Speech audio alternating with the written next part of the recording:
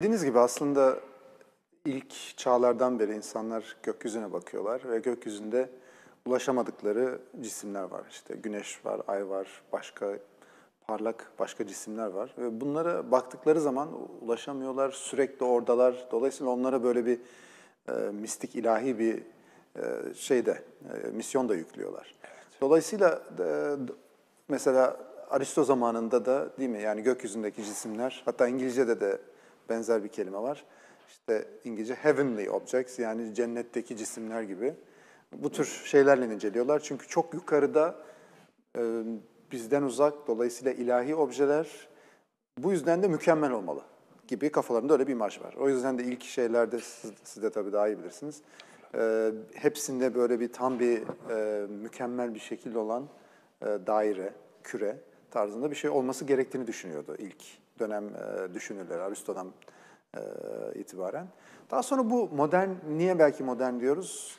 E, çünkü zamanla bu, bu düşünce, bu çok da normal bir düşünce aslında. Gökyüzüne bakıyorsunuz, hep orada.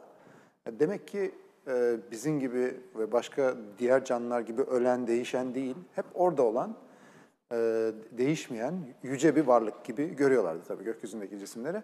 Bu neyle yavaş yavaş değişti? Tabii ki gözlemle. Yani teleskopların gelişmesiyle Ay'a baktığımız zaman ve başka yerlere baktığımız zaman hem tam da yuvarlak değil, lekeli, dolayısıyla mükemmel değil.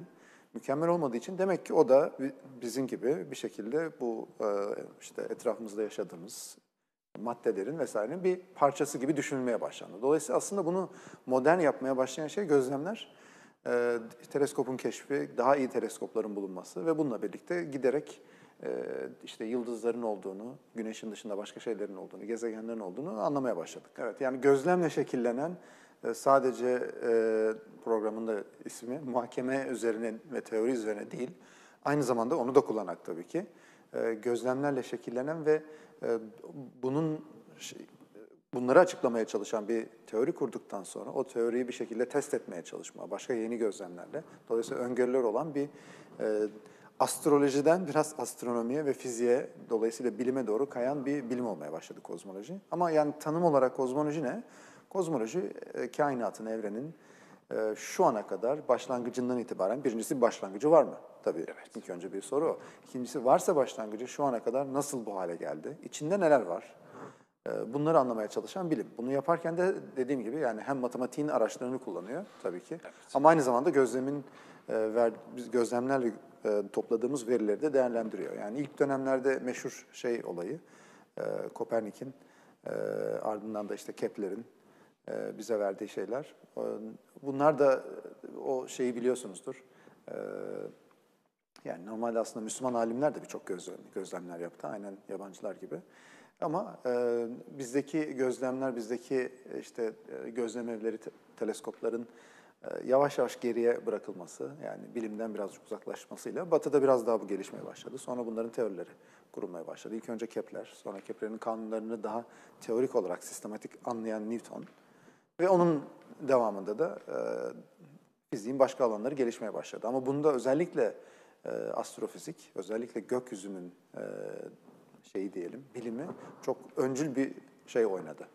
Yani aslında her şey biraz Kepler'le başladı diyebiliriz. Yani Kepler'in Kepler'in gökyüzünde o gördüğü e, bir iki tane kanunu var. Mesela bir tanesi ve çok önemli olanı e, gezegenlerin e, şey etrafında, güneş etrafında dairesel bir yörüngesi olmadığı niye dairesel olmasını düşünüyordu? Yine aynı biraz önceki sebepten dolayı. Daire çok mükemmel bir obje.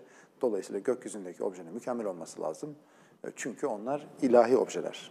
Dolayısıyla bu zaten kesin olduğu düşünülen bir şeydi. Kepler birincisi bunu yıktı. Yıkıldı, evet. Yani eliptik olduğunu gösterdi ki zaten as, e, ama o zamana kadar böyle bir şey düşünülemiyordu bile. Newton'un farkı onun niye e, daire olamayacağını teorik olarak muhakemeyle, düşünceyle ve matematikle e, ispat etmesi oldu. Yani bu e, eğer çekim kuvveti diye bir şey varsa bu elips olmalı diye çok rahat anlayabiliriz yani. O çok klasik örnek verilir. Bir taşı alıp ben çevirdiğim zaman kendi etrafımda hafif bir taşta hiç yerimden kıpırdamam. Dolayısıyla taş tam bir daire şeklinde gider. Ama taşı ağırlaştırdıkça beni de bir o tarafa bir bu tarafa sarsmaya başlar. Böylece merkezi kayar ve bir elipse dönüşür aslında. Bir daire sağa sola kaydıkça o taşın gittiği yörünge bir elipse dönüşmeye başlar. Ama yani bu söylemesi kolay ama şu anda da çekim kuvveti, dünya işte gezegenler birbirini çekiyor deme diyoruz.